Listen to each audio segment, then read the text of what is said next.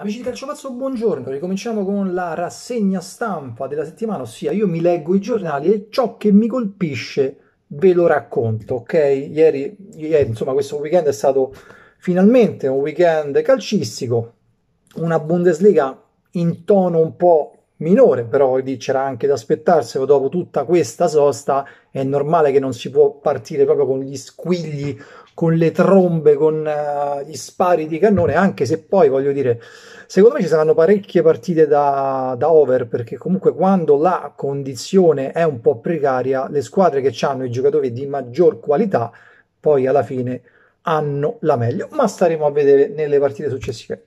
allora, Totti in incognito in giro al centro di Roma con la mascherina e dice che non è stato riconosciuto. Mo obiettivamente, no? Ma se voi romanisti incontraste qualcosa che lontanamente ricorda Francesco Dotti, non ve ne accorgete. Poi con vicino una bionda, eh, che chiaramente poi gli occhi si vedono, so dei Larry Blasi, messi insieme in uno stesso contesto e non se ne accorge nessuno. Boh, secondo me queste foto sono andate a fare tipo alle 6 di mattina, alle 5 e mezza, 6 di mattina, che adesso fa anche giorno presto, insomma. Non lo so, secondo me un romanista lo fiuta proprio a distanza anche dalla camminata da dietro, per cui non regge sta cosa, non, non, non l'ho capito. Comunque, ragazzi, eh, soprattutto tifosi della Lazio che seguite Calcio Pazzo, una grande notizia per voi, un pezzo di scudetto che si cuce ancora di più rispetto insomma, ai tre quarti che già, voglio dire, sono mezzi cuciti. Maldini, profondo conoscitore di calcio, se lo dice lui, ci potete credere. Scudetto? Basta Juve. Per la legge dei grandi numeri dico Lazio. Ecco, un altro pezzettino di scudetto e non credo, non credo che Maldini sappia della novità, insomma, la famosa aquila sul cancello 18 metri di ala, 18 metri di ala, una caposcia così, un becco appunto che fa anche da radar, nel senso che riesce a captare romanisti che passano a 2-3 km e li fulmina con i raggi fotonici del, degli occhi dell'aquila. Quindi dire, la Lazio sta diventando sempre di più, giorno dopo giorno, un grandissimo club riconosciuto, riconosciuto anche da campioni illustri come Paolo Maldini e per cui dovete stare tranquilli. Poi, la classica notizia sti cazzi, Diletta Leotta cade e si sbuccia durante l'allenamento ma poverina, effettivamente si è fatta male a un ginocchio, però l'occasione ci è gradita per farci vedere le tette, perché si piega giustamente per controllare questa sbucciatura e un mondo si dipana, anzi due mondi si dipanano davanti a noi. Molto bene. Poi, eh, coronavirus, De Luca a sorpresa, la campagna non riapre. Molto bene. Poi, Vediamo un po', vediamo un po'. Uh, Serie A, ecco il calendario Juve Lazio a metà luglio, la, 38esima giornata il 2 agosto. Vogliamo vedere qualche data? Così giusto per farci per regolarci. Allora, se il campionato dovesse ripartire il 13-14 giugno, prima si giocherebbe la 27esima giornata. Poi il 17 giugno i recuperi della 25esima, che sono quattro partite, il primo luglio si disputeranno le semifinali di ritorno di Coppa Italia, ricordiamo che c'era ancora in palio una Coppa Italia, giustamente, il 22 la finalissima. Ed in piena estate andrebbe in scena l'ultimo turno che potrebbe essere decisivo per l'assegnazione dello scudetto con Juve Roma, Napoli Lazio e Atalanta Inter. Bene, questo era quanto vi dovevo sul campionato. E adesso entriamo nell'argomento di giornata, le dichiarazioni di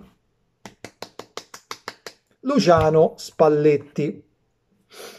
Allora, prima leggiamo un pochino, poi dopo vi dico la mia come sempre. E vabbè, Spalletti auspica che la Serie A riparta.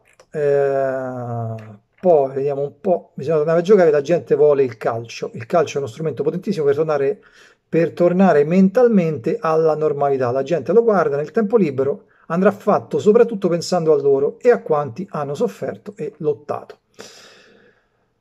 Poi, eh, qui c'è un, un, vecchio articolo, ringrazio Gesù per avermi fatto vedere Totti.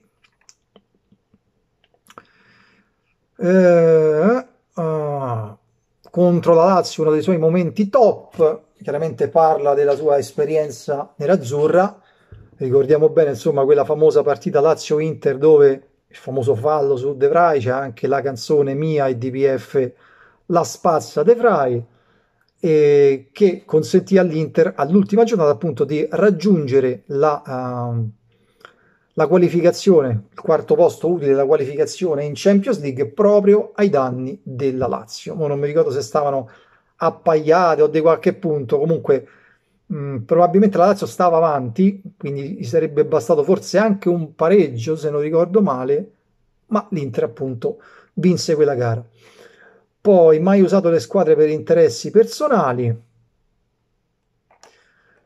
Eh, Spalletti Sabatini notte intere a parlare di calcio e ricorda appunto quando nel 2015-2016 i due acquisti, insomma quelli che secondo lui sono stati più significativi di Perotti e del Sharawi, effettivamente a quella Roma che ricordiamo quando Spalletti sostituì Rudy Garcia eh, in pratica intanto mi è saltata la pagina Cazzo è successo? Perché mi, è andata a Totti che gira per Roma? Così. Ha deciso da solo, ma ha cambiato la pagina. Vabbè, a lui piace. Dicevo, eh, quella Roma che, eh, di Rudy Garcia che veniva da quella sconfitta cocente contro lo Spezia ai rigori in casa, arrivò Luciano Spalletti e furono proprio loro i primi due acquisti ed effettivamente diedero quella marcia in più. Addirittura, se non ricordo male, inizialmente si mise anche in discussione eh, Edin Dzeko. Si mise anche in discussione Edin Dzeko perché comunque El Sharawi e Perotti giocavano titolari. Mi sembra che all'inizio Perotti giocasse da tipo falso 9 e El Sharawi giocava sulla sinistra e per qualche partita si pensava appunto a un Dzeko sempre più lontano da Roma perché eh, comunque panchinaro, lo ricordiamo anche in quel famoso derby dove poi entrò e segnò, ma all'inizio partì dalla panchina. E quindi lui ricordava appunto, Luciano Spalletti ricordava questi due acquisti come mh, i due acquisti della svolta che hanno comunque ridato verve e vitalità a quella Roma eh, e che hanno poi portato anche nell'anno successivo, con il ritorno di Geco in pompa magna, lo ricordiamo, a una forse la Roma più bella dell'epoca Pallotta, la Roma del, del record di punti e su quella panchina appunto sedeva Luciano Spalletti. No, perché molti a volte lo dimenticano. Eh, Spalletti viene giudicato negativamente soltanto per la famosa dei famosi liti con Totti, eh, il fatto che fu rimandato a casa dall'allenamento, cacciato da casa sua, ok? Queste furono le parole usate, ma eh, per quanto riguarda la logica di squadra invece, che dovrebbe essere sempre la prima cosa, la più importante, Spalletti intanto è stato l'unico allenatore a tornare alla Roma di tutti quelli che sono tornati da, da Lidl in poi a fare, non dico meglio perché poi nella prima gestione vinse, mi pare, due Coppe Italia se non sbaglio e una Supercoppa italiana e comunque resta l'ultimo allenatore vincente con la Roma ma in campionato eh, comunque ha realizzato il record di punti che non ha significato nulla come non lo ha significato nella sua prima gestione dove comunque è arrivato a tanto così. È l'allenatore che ci è andato più vicino allo scudetto perché alla fine primo tempo di Catania-Roma e Parma-Inter la Roma che stava vincendo a Parma e l'Inter che stava pareggiando a Parma ho detto la Roma sta vincendo a Catania, scusate, la Roma era campione d'Italia alla fine del primo tempo, ok? Poi giustamente si è, si è svegliato Ibrahimovic e la cosa è andata a puttane. Poi è stato l'allenatore che in questi anni si è avvicinato di più allo scudetto, anche più di Ranieri. Perché molti ricordano come la Roma che poteva vincere lo scudetto, quella di Ranieri. Ma è Spalletti quello che ci è andato più vicino, proprio a livello di tempistica, perché ripeto, mancavano 45 minuti.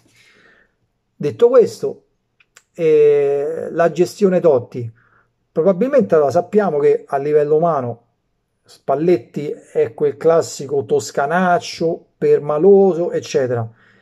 Non credo, non credo che Francesco Totti sia meno permaloso, quindi è stata una guerra fra permalosi e non poteva che finire a schifo Però ricordo nell'ultima gara dove appunto si salutava Francesco Dotti, perché molti pensano, sbagliando, che eh, Francesco Dotti abbia smesso per volere di Spalletti. In realtà il volere è stato esclusivamente della Roma, esclusivamente, esclusivamente insomma, di Pallotta, di Baldini. Lo sappiamo bene chi è che voleva insomma, l'allontanamento di Totti. Però vogliamo parlare della valorizzazione dei Totti? Probabilmente Francesco Totti, insieme a Spalletti, ha giocato le sue migliori stagioni. È stato valorizzato al massimo, ha vinto la scarpa d'oro, sia come assist man, sia come bomber. L'allenatore che è stato in grado di valorizzarlo di più di tutti è stato Luciano Spalletti. Poi è vero che la maggior parte ce l'ha messo lui con la sua tecnica, con la fantasia, la classe, il terzo occhio, tutto quello che volete, però i dati dicono che sotto la gestione Spalletti abbiamo il miglior Francesco Dotti, abbiamo il miglior Simone Perrotta, abbiamo il miglior Rajan Ingolan, abbiamo il miglior Edin Dzeko. Edin Dzeko i gol che ha fatto con Spalletti non li rifarà mai più. Dopo quel momento lì è tornato ad essere sicuramente un grande giocatore, eh, un regista d'attacco, tutto quello che volete, ma non è più stato un bomber da dopo Spalletti, ok? E queste sono tutte cose che vanno analizzate perché a noi, a noi, ai tifosi da Roma, dovrebbe interessare la Roma e non le diatribe personali. Quindi, chi ama la Roma non può disconoscere che la migliore Roma di Pallotta sia quella di Spalletti e che l'ultima Roma, l'ultima Roma a portare un trofeo è stata quella di Spalletti, punto. Tutte le sono chiacchiere di cui non me ne frega assolutamente un cazzo. Io guardo i dati, guardo la mia Roma, il meglio, il bene per la mia Roma e vi do questi dati soltanto con quella... Ah, che fatica, ho parlato 12 minuti ragazzi, spero che mi abbiate capito, spero che veniate numerosi a commentare e mi sembra che ho terminato, non, non credo ci sia più altro da dire, vi auguro una buona giornata e sempre caccio paccio.